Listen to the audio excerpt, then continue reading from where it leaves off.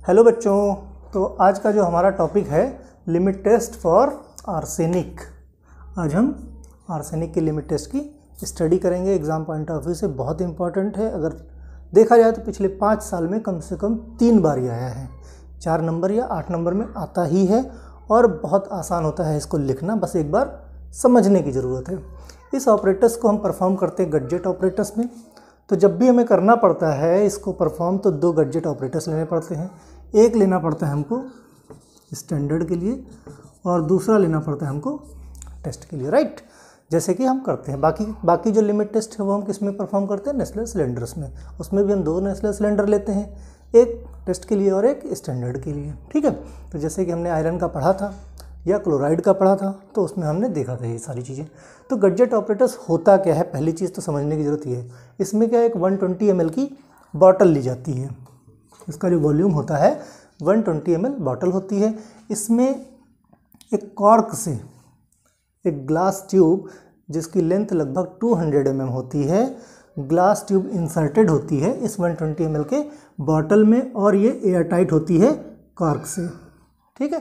Cork से ये tight होती है जा, जिससे कि आर्सिन गैस किसी भी तरह से बाहर या उसके जो भी बाई प्रोडक्ट की गैसेस हैं वो बाहर ना जा पाएँ, क्योंकि आर्सिन क्या है, हमारे हेल्थ पॉइंट ऑफ़ व्यू से अगर लिमिट से ज़्यादा है तो वो नुकसानदेह है, ठीक है?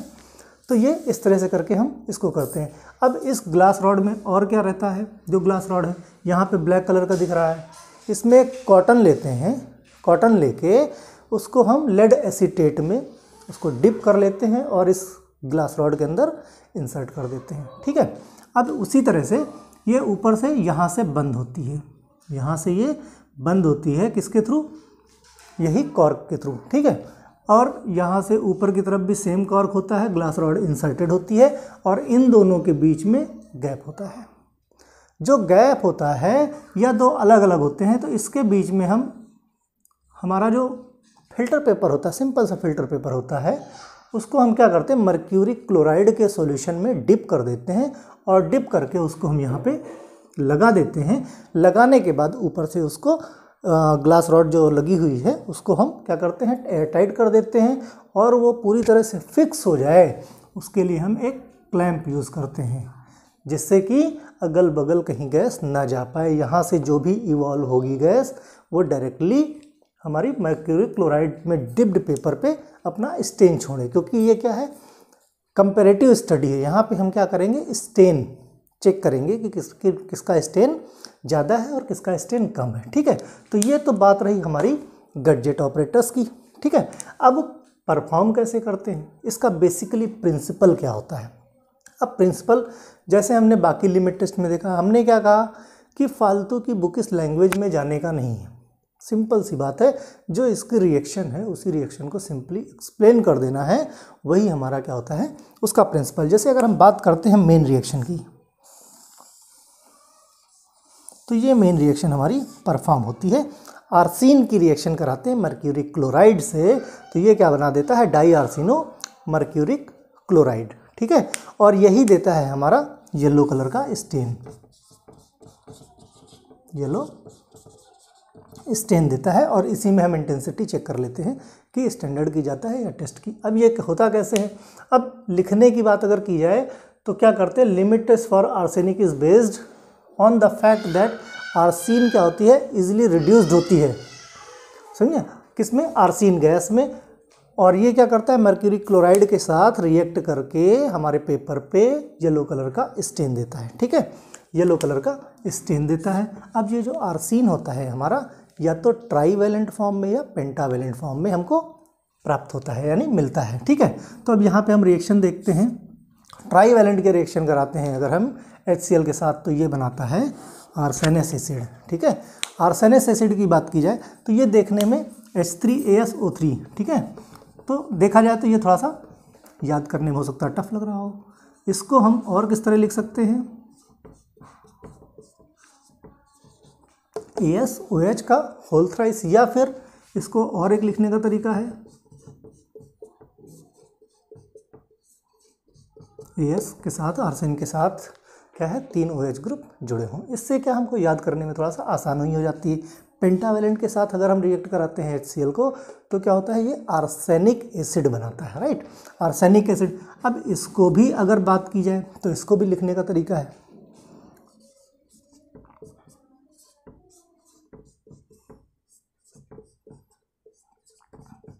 यानी जो आर्सेनस एसिड है, इसमें सिर्फ़ डबल बॉन्ड ओ और ऐड कर दो अगर तो बन जाएगा हमारा आर्सेनिक एसिड, ठीक है?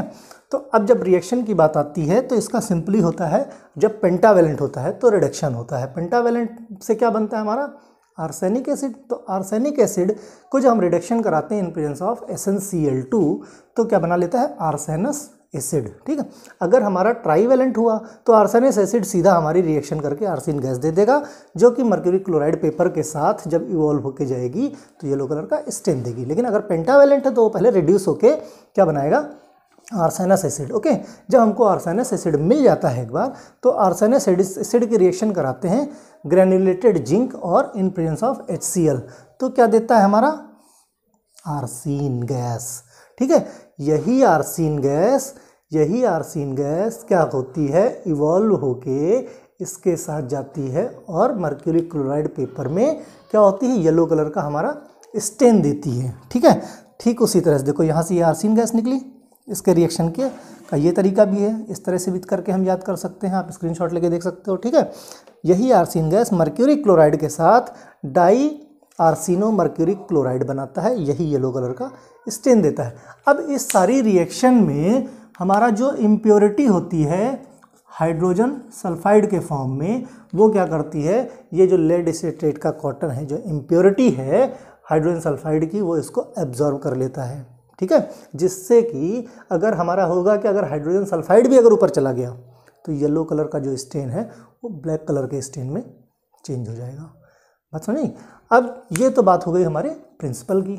अब हम बात करते हैं क्या? प्रोसीजर की। ओके तो प्रोसीजर देख लेते हैं।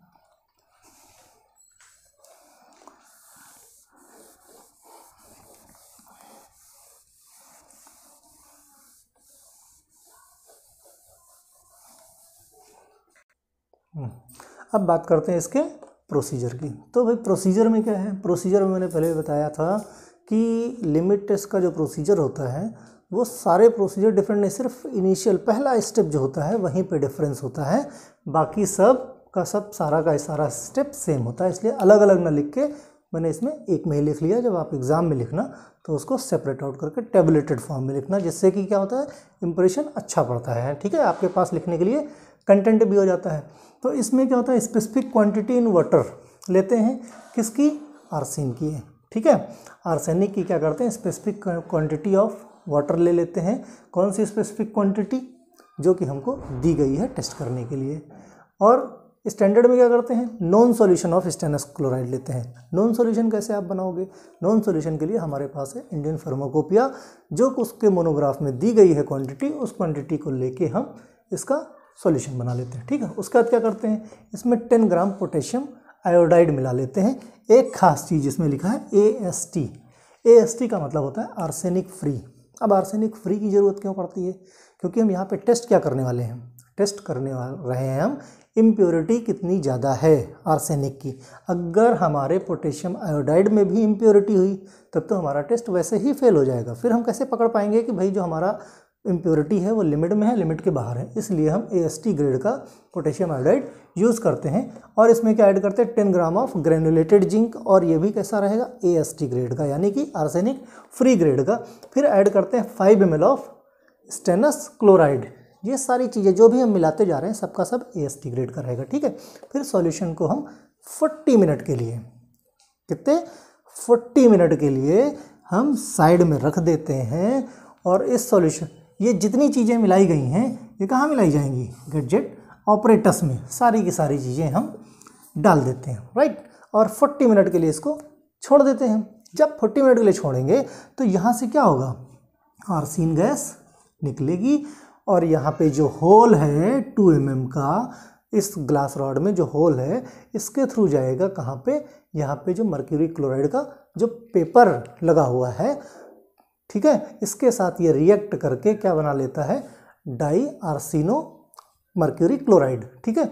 और वो क्या करेगा? इसके साथ रिएक्ट करके येलो कलर का स्टेन देता है, ठीक? अब वही जो है, और साथ में और क्या बाई प्रोडक्ट में? हाइड्रोजन सल्फाइड इसके लिए हमने क्या कर रखा है? हमने जो है एक कॉटन प्लग लगा रखा है जो कि लेड में क्या है? डिप्ड है, ठीक है? तो ये क्या करता है? ट्रैप कर लेता है हाइड्रोजन सल्फाइड को, जिसकी वजह से हमारा जो है आर्सिन गैसी ऊपर जाती है और येलो कलर का स्टैंड एकदम क्लियरली विजिबल होता है, ठीक?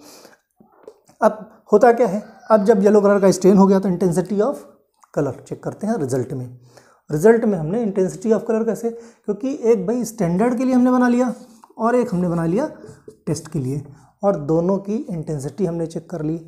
मैंने पहले भी बताया था लिमिट टेस्ट में जो हम स्टैंडर्ड बनाते हैं, वो अपने आप में लिमिट में होता है। उससे अगर ज़्यादा हो गया तो वो इम्प्योर कहलाएगा। वही होती है हमारी इम्प्योरिटी जब तक लिमिट में है, तब तक वो इम्प्योरिटी नहीं होती। ठीक है? तो जितना स्टैंडर्ड है, अगर स्टैंडर्ड से जो उसका येलो कलर की जो इंटेंसिटी है, यानी गाढ़ापन है, अगर स्टैंडर्ड से ज़्यादा है तो हमारा लिमिट टेस्ट फेल हो जाएगा।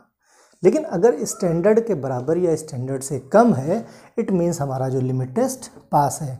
मतलब उसमें जो आर्सेनिक की इम्प्योरिटी है, वो विद इन लिमिट है राइट तो इस तरह से करके और एक चीज़, खास चीज़ क्या? ये जो आर्सेनिक का लिमिट टेस्ट है, ये क्वांटिटेटिव एनालिसिस है। कैसे क्वांटिटेटिव एनालिसिस है? मीन्स ये कि ये जो हमने यहाँ पे फ़िल्टर पेपर लगा रखा है मर्क्यूरी क्लोराइड के सॉल्यूशन में डिप करके, अगर हम इसको निकालें और डेंसियोमीटर से अगर हमको चेक करें तो हमें पता चल सकता है कि कितनी क्वांटिटी में। आर्सेनिक की इम्प्योरिटी है, या कितनी क्वांटिटी में वो प्रेजेंट है ओके तो इसी तरह से हमारा ये लिमिट टेस्ट कंप्लीट होता है।